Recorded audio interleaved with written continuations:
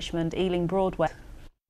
Good morning. It's a very wet start this morning and there's more rain to come. The Met Office has a yellow weather warning in place for the heavy rain through this morning into the afternoon. Now it's slow moving, the wind is light, but gradually it starts to creep away eastwards. Could get some showers to follow, but also some bright and sunny spells by the end of the afternoon. Temperatures 13 Celsius today.